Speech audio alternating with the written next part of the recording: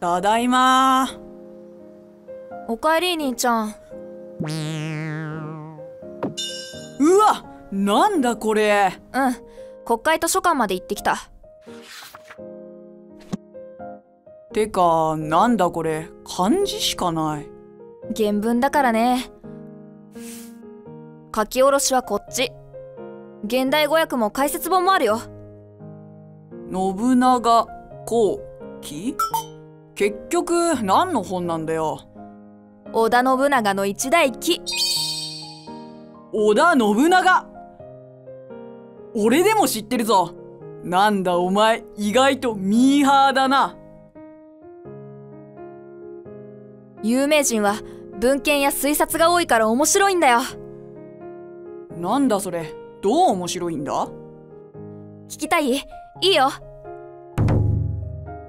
弟は俺と違って頭がいい。話好きで歴史好きで将来は話家？講談師？そういうのになるのが夢らしい。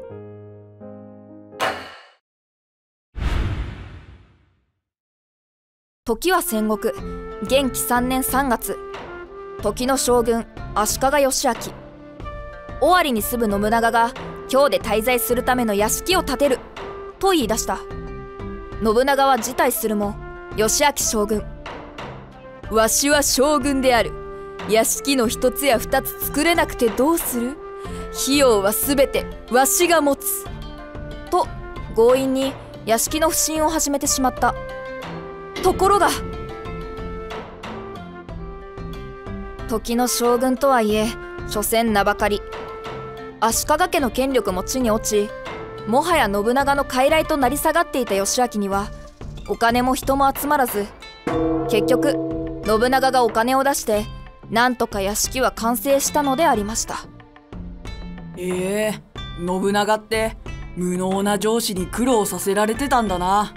なんか意外。そう。うわ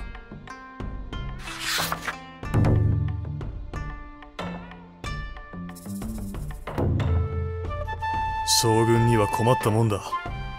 武田軍が我らの包囲網を築こうと動いているのに義明公の遊びにこれ以上付き合ってられん。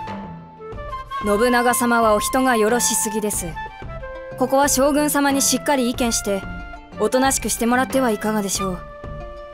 そうだな。義明公の間違った行いを余さず書き出して二度とそのようなことをされぬよう進言してみよう。それがよろしいかと将軍様も己を知れば目を覚まされるに違いありません。では今から言うことを書き写せ。御意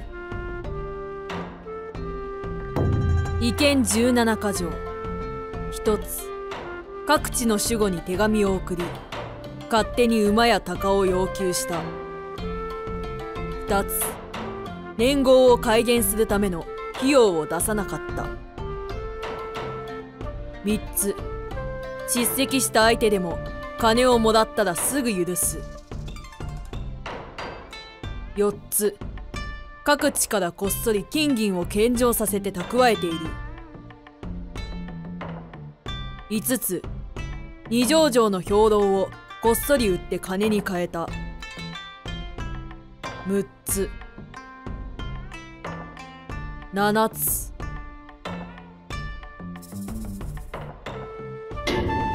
こうして将軍様の所業を並べ上げると本当にひどいですな。過去に殺害された足利将軍の名も書いてそれとなく脅しをかけておきましょう。それいいな。そこまで脅せばさすがの義明公もおとなしくなるだろう。この意見書は義明様だけでなく各地に送って注意喚起としましょう。うむ。任せた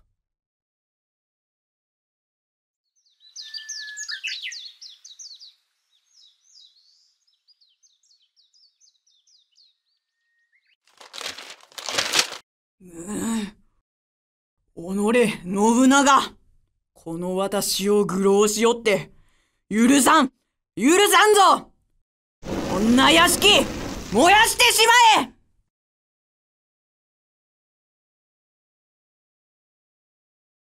それで信長が焼け死んだのか。それは本能寺の変。この時は今日の信長の屋敷を将軍が燃やしただけ。そっか、信長って、すげえバカだったんだな。本当のこと言われたら誰でも怒るぞ。今でもいるよね人の気持ちに鈍感な人っているいる。歴史って人間ドラマがいっぱいで面白いんだうまいこと言ってんじゃねえよ。えへへ